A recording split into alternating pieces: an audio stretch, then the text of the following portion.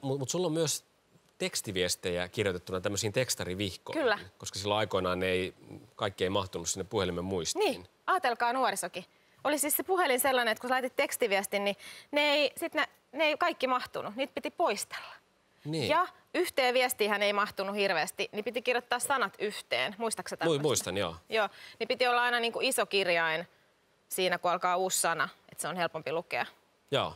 Niin mä en halunnut niitä poistella, siellä on niin kivoja viestejä, niin mulla on siis kolme tekstiviestivihkoa, joihin mä oon kirjoittanut vaan sen päivämäärän, keneltä se on tullut, ja mä oon kirjoittanut sen tasan sillä lailla, kun se on siinä, eli ne isot kirjaimet.